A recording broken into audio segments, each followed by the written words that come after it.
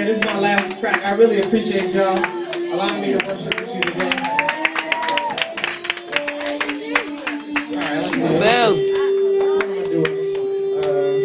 Love it. I got it. Ain't no telling what I'm gonna say. I don't know if I wanna be serious or play. You probably don't even feel like hearing this today, cause I wanna tell you something but don't wanna be cliche. So I just say, you know me as Calvin the Third, and I sang and pray. He writes the songs and I just relate. He makes the rules and I just obey. Sorry, this might not be your cup of tea, but just relax. Give me a minute or three. Here's the fact, it's not a sin if you see the light. Now turn, touch, and agree. Then stomp, sing, and shout. Is it good? Show up and show out. This is not typical, no doubt. But when this beat dropped in, this fire came out.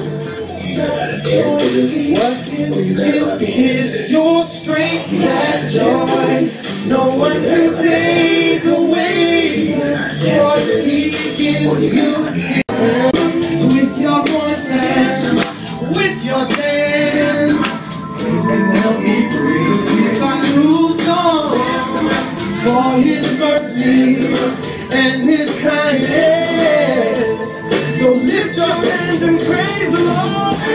representing Jesus Christ. Here's the deal. I've been trying to tell you nice that He's the real thing and He's the real king.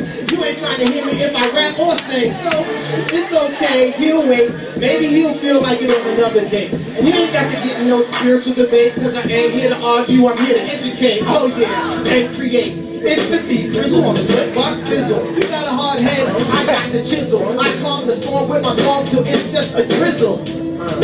Again. I calm the storm with my song it's just. I calm the storm with my song till it's just. I calm the storm with my song till it's just a drizzle. You got a chance with this, or you gotta clap your hands to this.